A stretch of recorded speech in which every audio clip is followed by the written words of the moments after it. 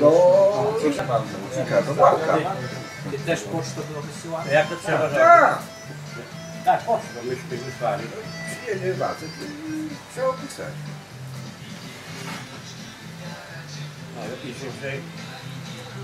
Znajdujemy się tutaj w Hajnówce, w agroturystyce, przy lesie. Mikołaj Moro zrobił spotkanie dla hodowców z okazji zaszczytnej zdobycia pierwszej nagrody i pucharu z lotu długodystansowego 1300 km z Bergenu. Tutaj w przyjacielskiej, koleżeńskiej atmosferze sobie wysiadujemy i rozmawiamy na tematy hodowlane. Teraz nas y, nurtuje wypuszczenie gołębi na lot długodystansowy. Przypuszczamy w godzinach rannych czy popołudniowych. Osąd jest w zasadzie zbieżny. Prawda? Jak pan, panie prezesie Tak, sądzi? tak, tak uważam właśnie, że godziny, godzina Po 16 południowej. optymalna, optymalna godzina wypuszczenia w takich godzinach popołudniowych. Czyli żeby pierwszy dzień przeskoczył tylko jakąś niewielką część dystansu. Tak, Przenocował. i- 4-5 godzin lotu po prostu, żeby był wypoczęty, pełny siły.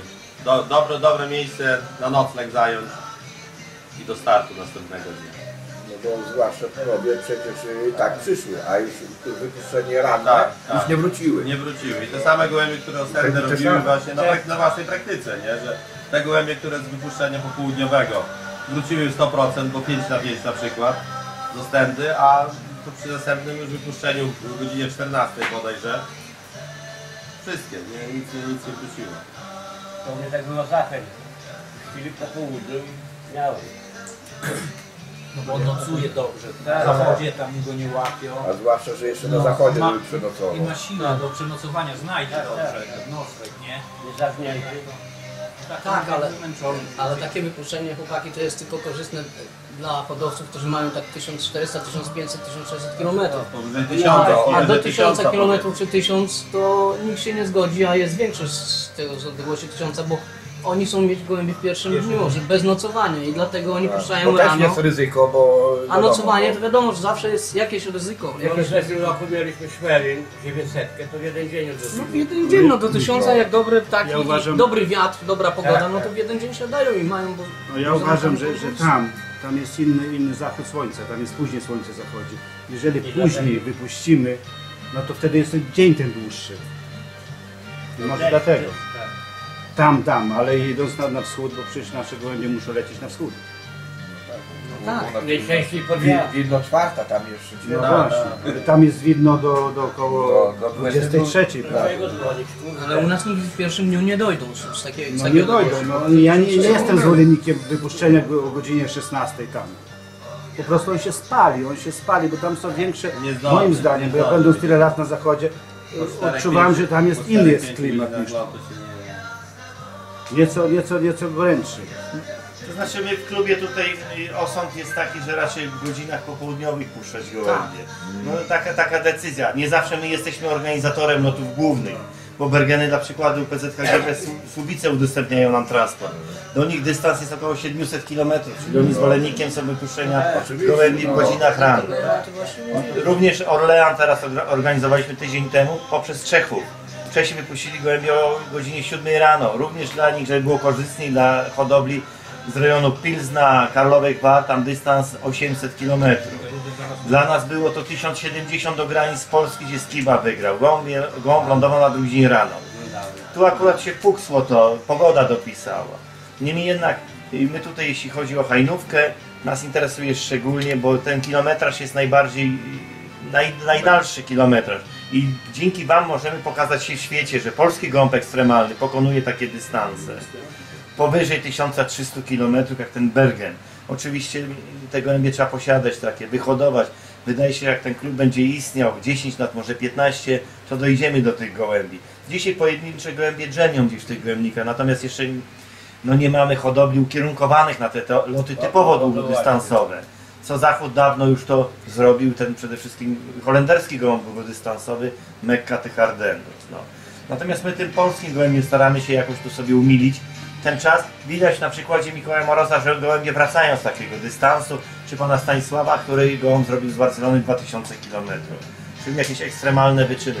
Niemniej jednak my takiego lotu jak Barcelona nie polecamy, ponieważ jest to coś, w ogóle nieporozumienie jest lotować z Belgią i Holandią Barcelonę.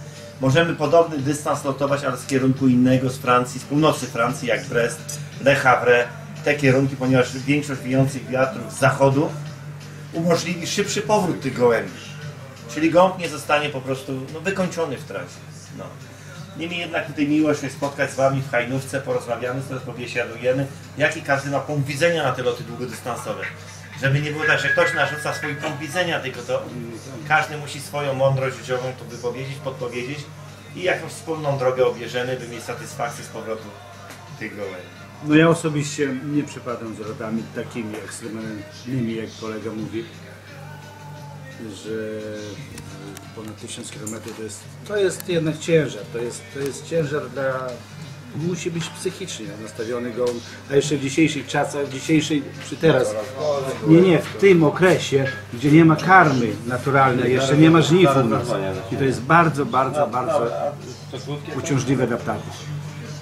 Na pewno, na pewno Witku byłoby lepiej, żeby te gołębie leciały już jak jest w czasie żniw, jak są pola czyste. oczywiście. Ale gołębie się rozpierzą, się nie da zrobić, o przepraszam, tak późno No e, strony lotów. Już będą rozpierzone gołębie i nie da się tak późno lotów zor- zorganizować.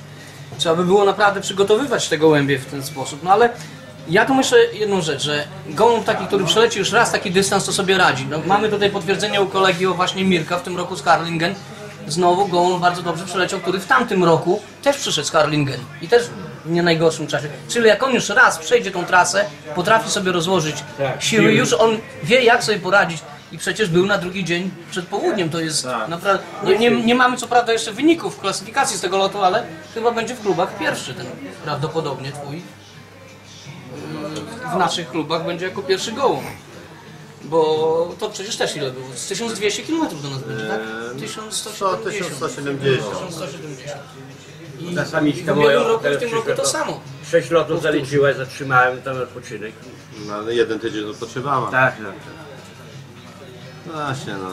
To, za, zależy, raz- zależy, zależy co kogo pasjonuje. Mnie Właśnie. długie loty już od dawna. No ja mówię, ja już, Mnie też, ja ja już dwa, od 2007-2008 roku już zaczynałem z długimi Ja, ja lotami. lubeki No. Szwelini tam u mnie, miał Lubin takie o, wszystko. Ja Ostendę, Ostendę mówię, ryzykowałem w 2008 już. No. Długi lot to jest to jest No satysfakcja. to jest zabawa, Jak- jak to jest adrenalina, no po prostu. Tracisz albo No ryzyko jest duże. Krótki- jest bardzo no Krótki dobre lot to, jest szy, szybko tego. No. Pamiętaj, bo mój, trzeba wysłać dobre gołębie, no, no nie jak chcesz zaryzykować to dobrymi, Ja ryzyko duże, no no możesz stracić. jako pierwszy, drugiego, drugi był. I dałem go do takiego cztery tej kawałki. Domka. No, nie przy, nie przy tego. To nie, to nie znaczy, że Nie, on nie, nie, bo nie, masz- nie, masz- masz- Siedmiolatek, siedmiolatek z tym setki masz, który ma wszystko, co się dzieje w Europie, nie? Setki nie ma teraz. O, a nie ma też wysłałem na tym setki gołębia, który w 2008 był pierwszym rocznym lotnikiem w Sokołowie. To masz, nie, mieliśmy, ale jak nie gości Sokołowy, który mieliśmy od 200 do 300. Lotu młody potrzebny.